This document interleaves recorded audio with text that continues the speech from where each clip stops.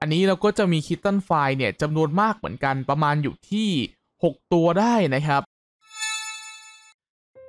สวัสดีเพื่อนทุกคนนะครับ วันนี้ก็ยังอยู่กับช anel ของ z e r o Number และเกม Genshin Impact กันอีกเช่นเคย ในครั้งนี้เราก็อยู่กับวันที่ 6 ของกิจกรรม บันทึกทดลองแบบร่างคู่สีนะครับ ซึ่งตรงส่วนของวันนี้เนี่ยก็จะเป็นวันสุดท้ายนะ ผมก็มาหาตรงส่วนของภาพที่เขาถ่ายเหมือนเดิมนะครับ เผื่อใครที่ยังไม่ครบนะ โดยที่ตรงส่วนของวันนี้เนี่ยเขาจะให้ไปถ่าย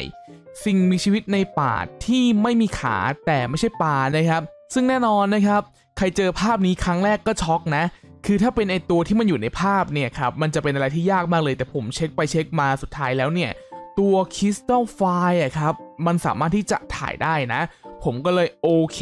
จุดที่หนึ่งที่ผมจะแนะนำเป็นชุดนี้ อาจจะยังไม่ครบนะ เดี๋ยวลองหลายๆที่ดู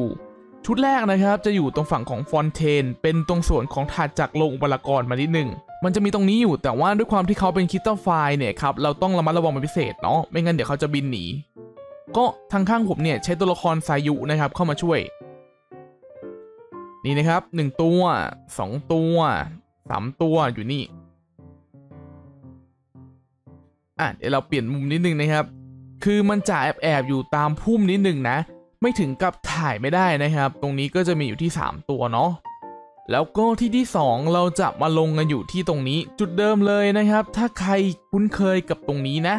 เราก็มาถ่ายที่จุดเดิมนะครับ จะมีตรงส่วนของ Crystal File เนี่ยอยู่เป็นจำนวนมากในระดับหนึ่ง ประมาณอยู่ที่ 5-6 ตัวนะครับ นี่อันนี้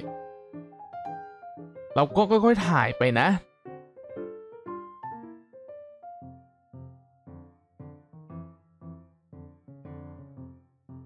มาขอนิดนึงนั่นแหละ จุดที่ 3 เนี่ยผมจะแนะนำเป็นตรงนี้นะครับ บอกก่อนนะ ถ้าใครไม่ได้พกพวกสายุพวกอะไรที่ทำให้พวกสัตว์เนี่ยครับแตกตื่นน้อยลงให้ระวังนะ แล้วรีบถ่ายนะครับ เพราะว่าลงไปเนี่ยเราจะเจอเลยนะ ตรงพันธุ์เนี่ยเขาจะอยู่ตามขอบขอบๆเลยแบบนี้ นี่นะ ตัวที่ 1 แล้วก็จะมีอีกนะครับ นี่นี่สองสามตัวเลยนะครับเนี่ย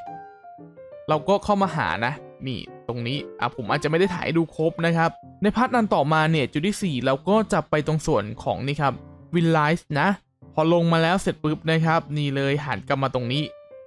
นี่จะยังเจออยู่นะครับ เราก็วิ่งรอบๆนะ มันมีหลายตัวอยู่นะ เพียงแต่อาจจะต้องใช้เวลาวิ่งนิดนึงนะครับหนึ่งตัวสองตัวสามตัวนี่อยู่นี่อะเดี๋ยวผมเดินเลี่ยงๆเขาสักนิดนึงแล้วกันเนาะสี่ตัวนี่ เห็นนะครับ นี่นะ ตรงนี้มีอยู่สี่แล้วนะ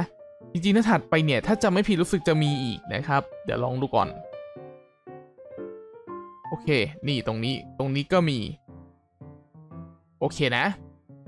แล้วก็ผมแถมไปอีกสักจุดหนึ่งแล้วกันเนาะ จุดนี้เนี่ย เราต้องวาร์ปจากตรงนี้แล้วก็วิ่งเข้ามานะ มันจะอยู่ตรงรูตรงนี้เลยนะครับ นี่นะ เห็นนะ วาร์ปอยู่นี่นะ ก็จะเป็นจุดที่คุ้นเคยสำหรับใครหลาย ๆ คนนะครับ เราก็สามารถถ่ายได้นะ อันนี้เราก็จะมีคิตตันไฟล์เนี่ยจำนวนมากเหมือนกันประมาณอยู่ที่ 6 ตัวได้นะครับ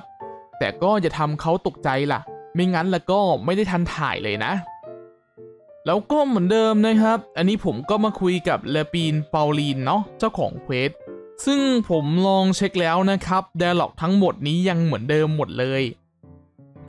ส่วนในเคสของส่งตัวอย่างเนี่ยเนี่ยครับไม่ได้มีอะไรเพิ่มเติมอะนะ ก็งงเหมือนกันเพราะตอนแรกเขาประกาศว่าจะแจกแกดเจิตมาตัวหนึ่งนะครับ